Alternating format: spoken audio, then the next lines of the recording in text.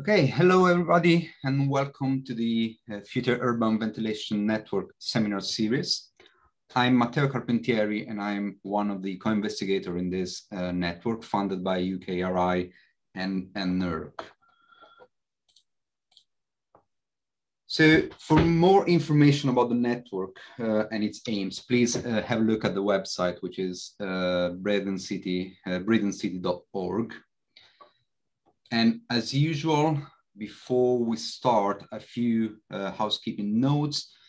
If you have questions, I'll try to collect all of them, uh, all the questions from Megan uh, uh at the end. So please write your question in the chat. Keep yourself on mute uh, during, the, during the talk. And of course, the usual stuff, respect each other participant contributions uh, and uh, be aware that this um, this seminar is being recorded. So if you don't want to be recorded, please don't uh, share your video. Um, having said so, the speaker today is Megan Davies-Wykes from the uh, University of Cambridge, and uh, she will be talking about models for natural ventilation, sash windows and cross ventilation. So I'll stop sharing my screen and uh, Megan, please go ahead.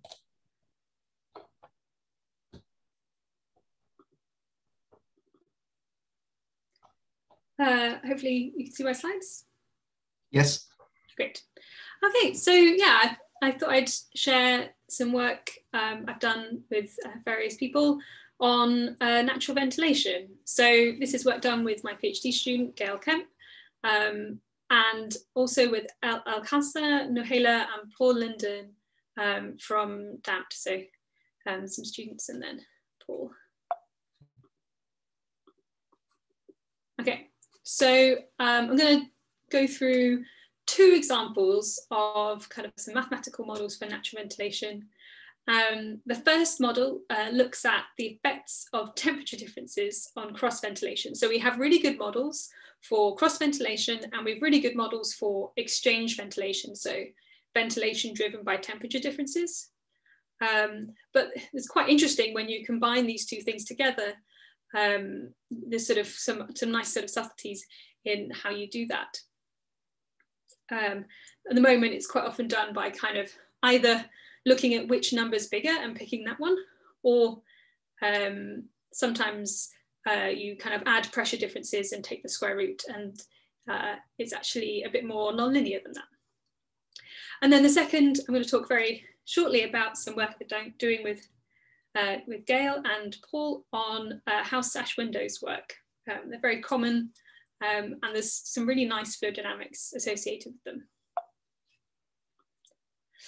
Okay, so first question, what are the effects of temperature differences on cross ventilation?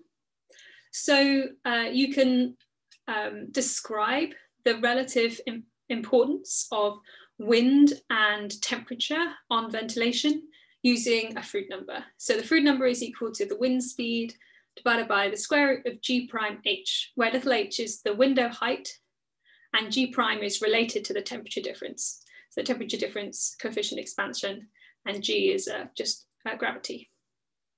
And I studied this using um, some experiments. So I had this water flume.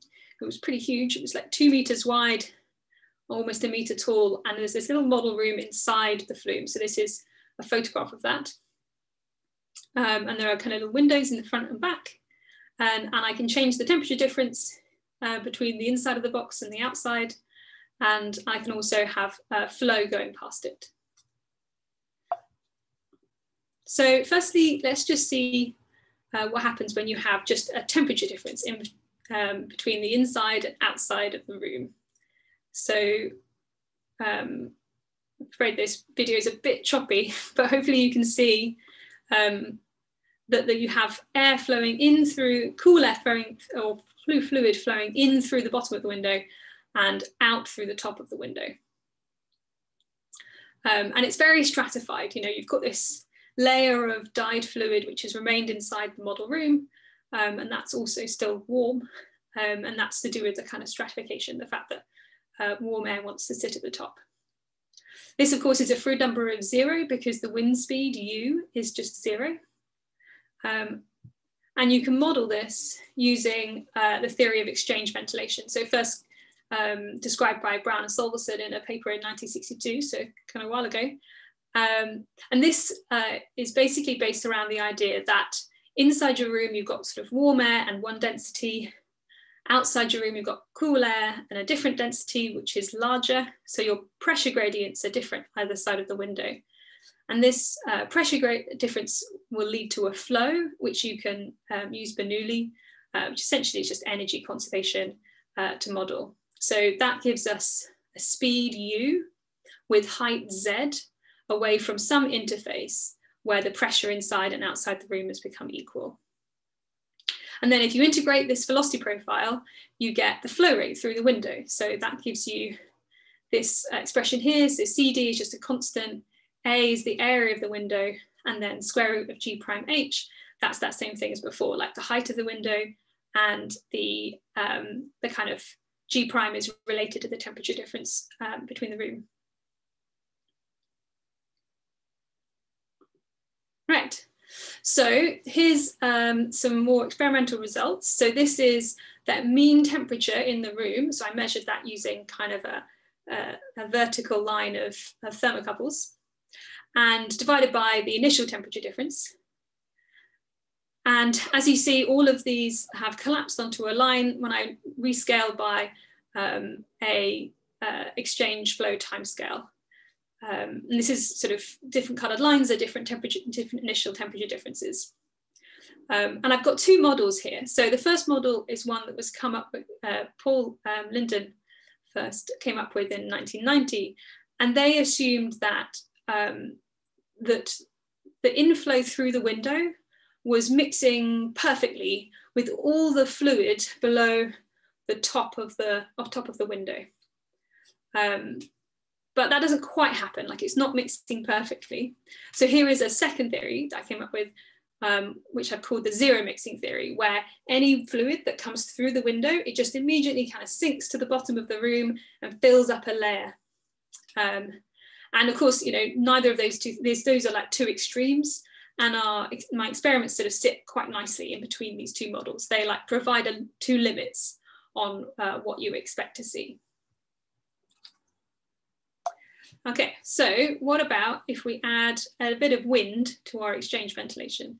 So here the Froude number is 0.62, so there's a bit of wind, um, but not uh, not so much that the buoyancy isn't still dominating. So you can still see you have inflow through the bottom, outflow through the top, but, but the kind of flow changes as you go along, where like you more and more you get kind of unidirectional flow, like one way flow through this window and one way flow through this window. And again, it's very stratified. And then at kind of late time, um, you get kind of uh, very slow erosion of this interface by the flow coming through the window.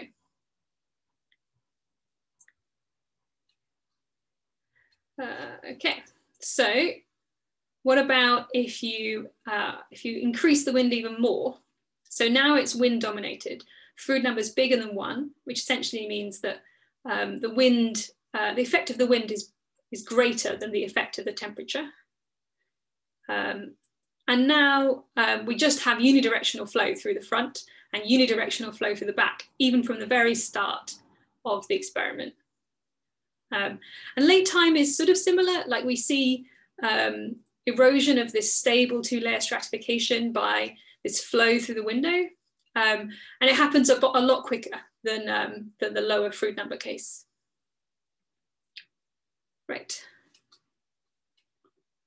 So then the last example is what happens when you just have wind. So now there's no temperature difference between the inside of the room and the outside.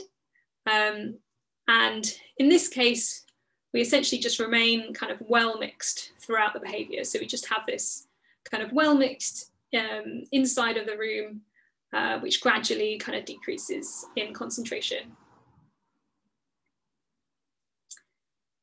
Right. Okay, so the well mixed case is like pretty straightforward. You, it's just a exponential decay. So if we rescale, um, uh, this is the mean concentration in the room compared to the initial concentration.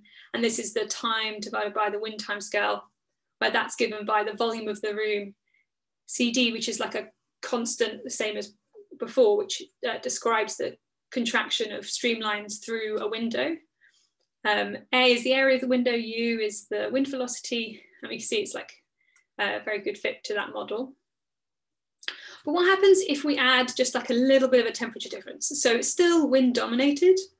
Um, the Froude number is still bigger than one, but now um, we have a bit of buoyancy. And what happens is the buoyancy very slightly suppresses the ventilation rate. So if you look at these velocity profile, profiles down in the bottom uh, left, we've got um, the red is when you have like wind only, where sort of this is the idealized velocity profile through the window, it's just constant. And as we increase the temperature difference between the room and uh, the outside, the warm room air wants to flow out of the top of the window. So we get this kind of distortion of the velocity profile. It's kind of almost like moving towards like what you would see for an exchange profile.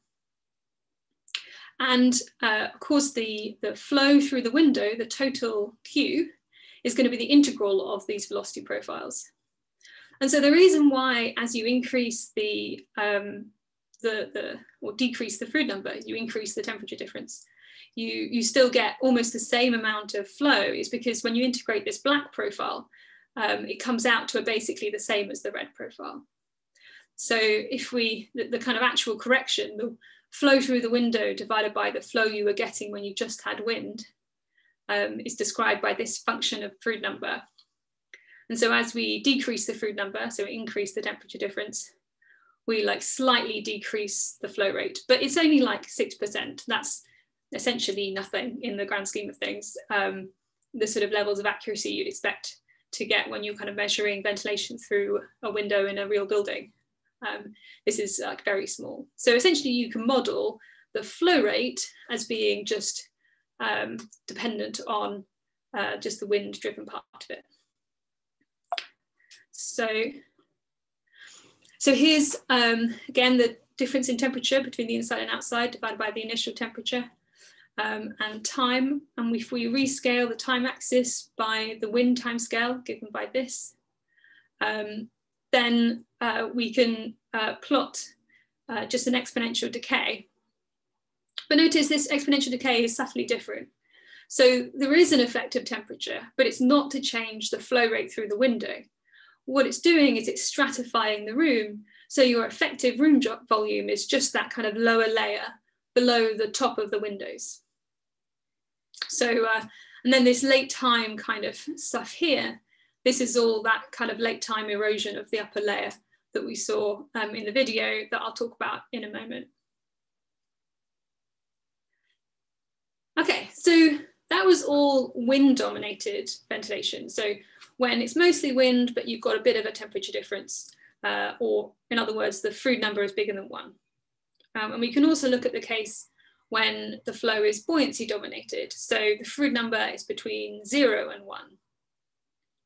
So here, like on the left, we've got the velocity profile at the window when you just have buoyancy, when it's just exchange flow.